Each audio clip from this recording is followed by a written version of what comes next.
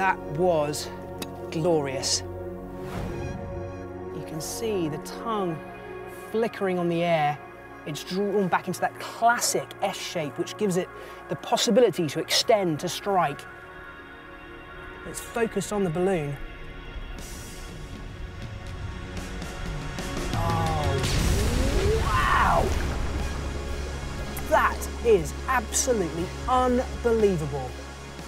Well, it's a very, very short strike, but you could see as the mouth opened, the sheath that covered the fangs being exposed. They're very, very long, those fangs, and really act like tiny stiletto daggers. And they have just knifed into the balloon, and for a fraction of a second, the water is just hanging there in one place.